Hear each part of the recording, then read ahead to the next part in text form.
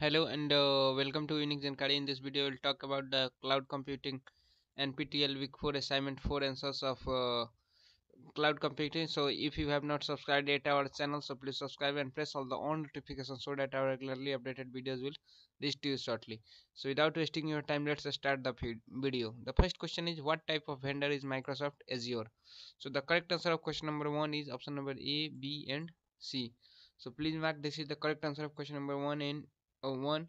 Next question is question number two. What does azure app service plans defines so the correct answer of question number two is option number d all of the above. So please mark. Next question is question number three. Which of the following is a computation role provided by azure?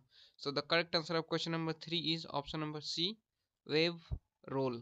So please mark it. Next question is question number four. Which of the following are the services offered by google cloud platform so the correct answer of question number 4 is option number D all of the above.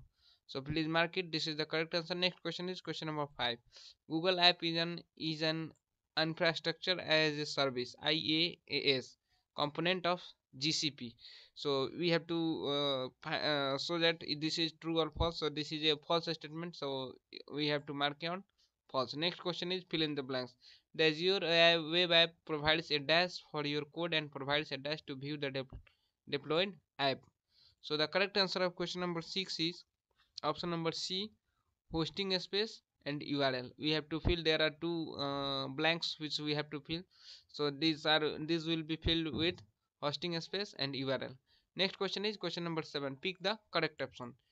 Google app engine helps and users application scalability next is uh, google apis integrate google services into the end users application so the correct answer of question number 7 is option number C. Both statement 1 and 2 are true. Next question is question number 8. Pick the correct option. So the question number 8 is pick the correct option. Uh, there are two statements given here. Google Cloud Storage provides you with MySQL or NoSQL database. And second statement is google cloud endpoints helps migration of web application to google cloud platform. So there are two statements given here. So there are four options of the question uh, question number 8 so the answer of question number 8 is uploaded on our uh, site which is answer of question number 8 is uploaded on our site link in description. So you can visit our site from a link which is in description box or answers are being updated on our site before youtube. So you can visit our site www.uniquejankari.in for uh, quick assignment answers. Answers are already updated on our site. So and you can also join our telegram for every types of notification. So the answer of question number 8 is updated on our site. You can visit from the link which is in description box. So the next question is question number 9 an azure resource group is logical container into which Azure resources like web apps, database and storage accounts are deployed and managed.